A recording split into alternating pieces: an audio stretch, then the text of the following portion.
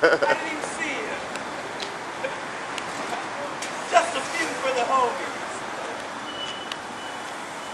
Hey, did you like your one on Daily Mail though? With your son?